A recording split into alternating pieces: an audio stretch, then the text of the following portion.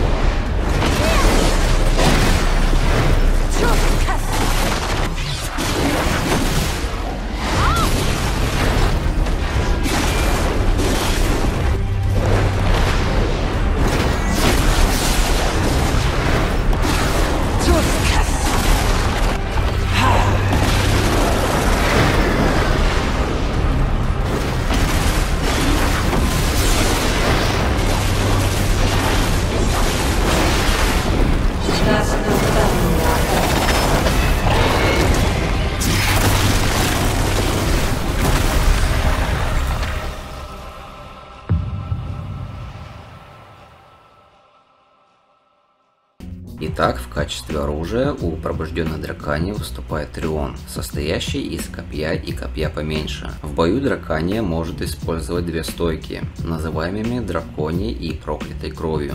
Проклятая кровь дает более быстрые и молниеносные атаки, а также повышается скорость перемещения самого персонажа. В режиме драконьей крови дракания вместе с Трионом преображаются, нанося более медленные, но при этом тяжелые атаки, а также появляется возможность использовать навык дыхания дракона. Обсудим теперь 6 основных навыков пробуждения. Первый навык – Парящее возмездие. Дракания подавляет врагов, выплескивая мощь дракона, после чего пронизывает трионом землю. Второй навык – Вестница гибели. Дракания окутывает ветром левое копье Триона и взмывает ввысь, чтобы обрушиться на врагов сверху. Следующий третий навык используется в двух стойках и называется разрушительный натиск. В проклятой крови дракания соединяет правое и левое копье, окутывая их ветром после чего стремительно бросается на врага. В драконьей крови дракания соединяет правое и левое копье, после чего выпускает перед собой поток ветра, отталкивая противника. И последний скилл Рок от земли также используется сразу двумя стойками. В проклятой крови дракания окутывает левое копье ветром и выпускает его перед собой. Затем выпускает потоки пламени из правого копья, сжигая под собой землю.